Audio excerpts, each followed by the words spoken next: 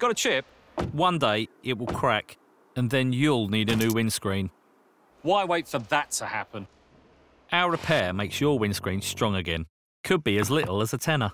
Or sometimes even free. See a chip? Go straight to autoglass.co.uk. Autoglass repair, autoglass replace.